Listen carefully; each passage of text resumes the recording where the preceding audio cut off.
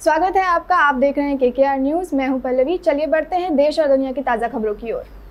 मुस्लिम समाज के पैगंबर मोहम्मद साहब पर युवक ने अभद्र टिप्पणी की। मुस्लिम समाज के लोगों ने कलेक्टर को ज्ञापन सौंपा। शिवपुरी शहर के मुस्लिम समाज के लोग आज एकत्रित होकर कलेक्टर के पास पहुँचे, जहाँ उन्होंने जानकारी देते हुए बताया कि ग्वालियर में पैगंबर मोहम्मद साहब पर एक व्यक्ति द्वारा अभद्र टिप्पणी की गई थी, जिससे मुस्लिम समाज में काफ़ी आक्रोश है, जिस पर कार्रवाई के लिए उन्होंने आज शिवपुरी कलेक्टर को एक ज्ञापन सौंपकर उक्त युवक पर कार्रवाई की गुहार लगाई है। जानकारी के अनुसार 16 सितंबर को ईश्वर के अंतिम संदेष्टा पैगंबर हज़रत मोहम्मद सा सा का जन्मदिन संपूर्ण भारतवर्ष में धूमधाम से मनाया गया था तथा लोगों ने अपनी खुशी का इजहार सोशल मीडिया पर भी किया था। इंस्टाग्राम आईडी सोनूपाल तीन छह सात आठ से कट्टर सोनू सनातनी हिंदू सेवा समिति ग्वालियर के नाम से इंस्टाग्राम प्लेटफॉर्म का उपयोग करता है।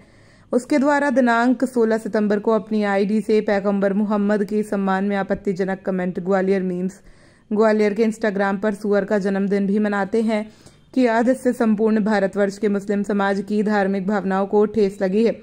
इसको लेकर आज शिवपुरी में मुस्लिम समाज द्वारा उक्त युवक पर कार्रवाई। आज आपने कलेक्टर को ज्ञापन दिया है। जी। क्या कुछ मसला है? ये मसला ये है कि जैसा कि सभी को पता है 16 तारीख को पैगंबर मोहम्मद सल्लल्लाहु अलैहि वसल्लम साहब का जन्मदिन मनाया गया।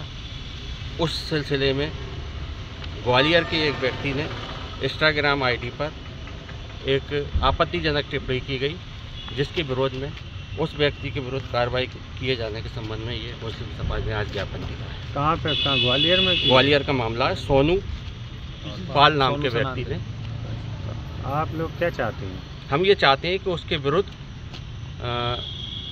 वैधानिक कार्रवाई हो और उसको गिरफ़्तार किया जाए और उसे दंडित किया जाए।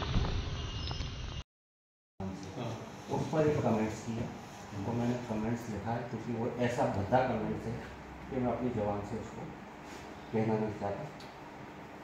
तो हम मुस्लिम समाज उस व्यक्ति के कार्रवाई की मांग माननीय से उसके विरुद्ध कार्रवाई की ऐसे ही देश और दुनिया की खबरों के लिए बने रहिए के न्यूज़